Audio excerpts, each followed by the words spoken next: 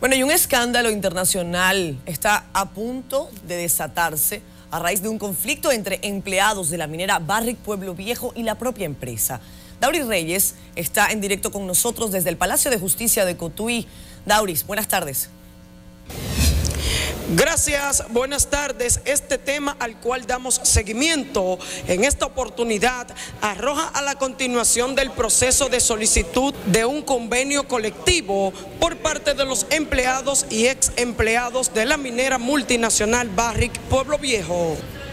La jueza interina del juzgado de trabajo, Yudelka Vázquez, conoció la solicitud de los empleados de la minera de un convenio colectivo, acción que se niega a realizar la multinacional. La audiencia fue reenviada para el día 8 de septiembre Mientras tanto, los abogados de la parte demandante, así como los propios empleados de la Barrick, denunciaron atropellos, cancelaciones y persecuciones por parte de esta empresa. La empresa minera quiere llevar la confusión y tratar de salirse o entrar por la puerta de atrás. Ahora las cancelaciones sí, ellos las siguen haciendo estratégicamente como le reiteramos. A la audiencia asistió el dirigente sindical Rafael Pepe Abreu, quien al pronunciarse en respaldo de los trabajadores mineros, advirtió que de la minera no pactar con los mismos, el caso será sometido ante organismos internacionales.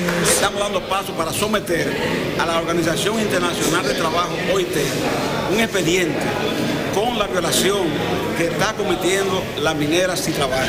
¿Cuál usted cree que es la pretensión de la minera frente a esto? Lo que persigue es, como siempre, negar negarse a que el sindicato se establezca, a que pueda tener un convenio. Por eso nosotros hemos acudido a la OIT. Además, a la salida del Palacio de Justicia, los empleados de la minera Barrick Pueblo Viejo montaron un piquete exigiendo que se acuda al pacto colectivo.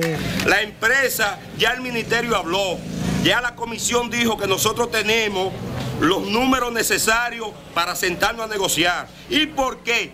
¿Por qué si quieren tanto a la familia Barry Pueblo Viejo, por qué entonces tú no le das ese convenio colectivo que necesitan los trabajadores? Muchachos. Convenio colectivo.